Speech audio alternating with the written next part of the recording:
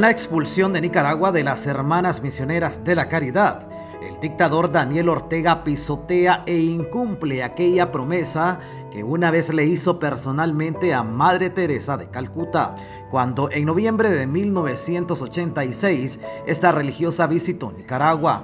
El señor José Mateo Lorío, laico comprometido en el apoyo a una parroquia de Managua, dijo que es lamentable que 36 años después de aquella histórica visita de Madre Teresa a Nicaragua, el mismo dictador que la abrazó y se tomó fotografías con ella, hoy esté ordenando la expulsión de las hermanas religiosas y pisotee la promesa que le hizo de apoyar su noble labor en el país.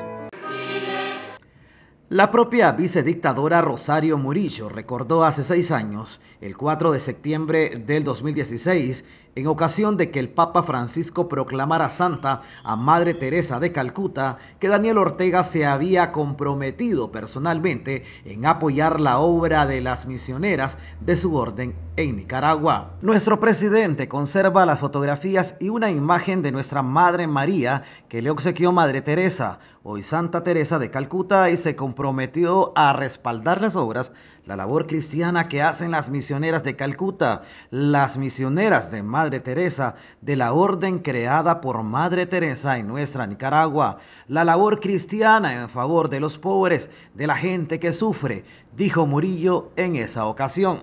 Pero Murillo no se limitó a recordar eso. Dijo además que se sentían orgullosos de haber contado con Madre Teresa en los momentos más duros de la historia de Nicaragua.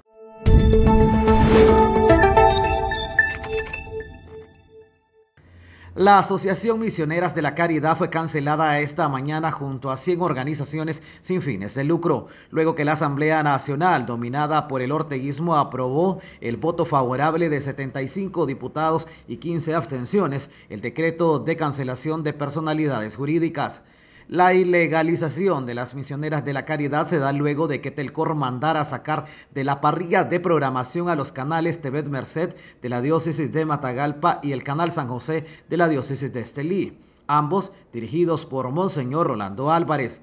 En este 2022 el régimen de Daniel Ortega ha sacado del aire a tres canales de corte religioso, luego que el 20 de mayo de este año la misma entidad ordenó eliminar de la parrilla de programación al canal católico propiedad de la Conferencia Episcopal de Nicaragua. Según la petición del Ministerio de Gobernación, las misioneras de la caridad no están acreditadas por el Ministerio de la Familia como guardería, CDI, hogar de niñas y asilo de ancianos. Tampoco tienen permiso de funcionamiento del Ministerio de Educación para realizar reforzamiento de aprendizaje.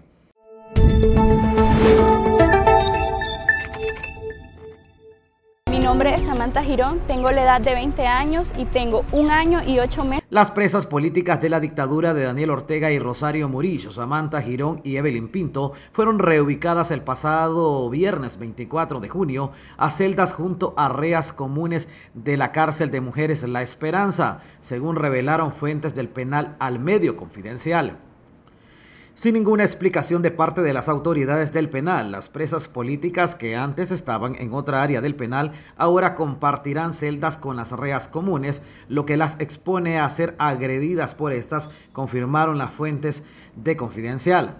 La orden dada por las autoridades del penal es que Pinto y Girón sean vigiladas por otras reas comunes, dijeron las fuentes al mismo medio.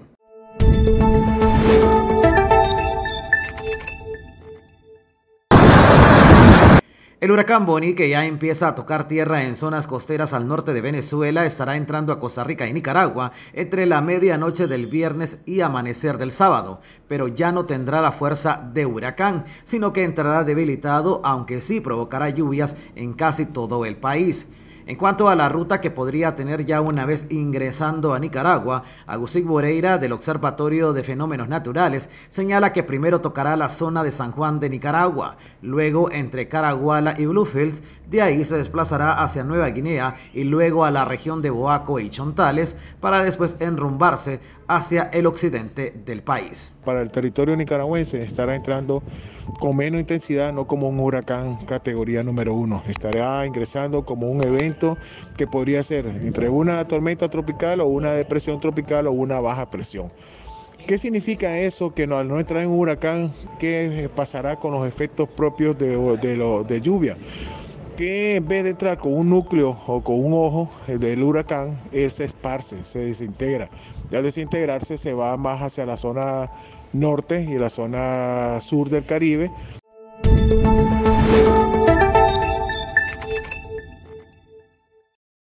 El sacerdote nicaragüense Manuel Salvador García fue condenado a dos años de prisión por supuestamente amenazar con arma blanca a cinco personas en el municipio de Nandaime, a unos 70 kilómetros al sur de Managua.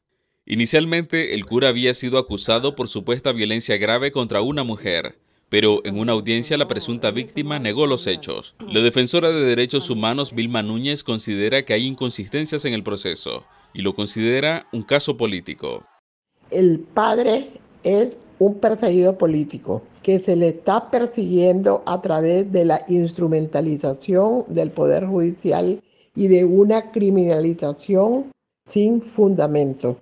La razón política es la persecución en contra de la Iglesia.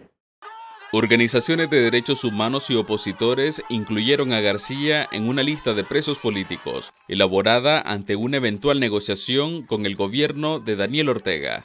Dios lo que quiere es que los sacerdotes se vayan porque es la única voz que no han podido callar y es la única voz que hasta el día de hoy se está proclamando y se está pronunciando en, en Nicaragua. Según el opositor Gabriel Putoy, existe una nueva escalada represiva contra la Iglesia Católica. Las iglesias están vigiladas, están llenas de paramilitares, están asediadas y nuestros pastores, nuestros hermanos sacerdotes están siendo perseguidos por los distintos órganos de inteligencia del Estado y dictatorial de Nicaragua. Sin embargo, el juez Jaime Aguilar fue firme en su sentencia contra el cura mientras la Asamblea Nacional sigue discutiendo una supuesta consulta ciudadana que recomienda encarcelar a sacerdotes que participaron en lo que llaman intento de golpe de Estado. Donaldo Hernández, Voz de América.